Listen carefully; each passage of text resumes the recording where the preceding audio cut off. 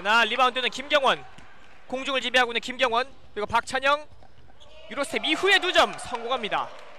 요즘 이제 대학 선수들도 Euro step을 많이 하죠. 네. 63 대 41 22점 22점 차예요.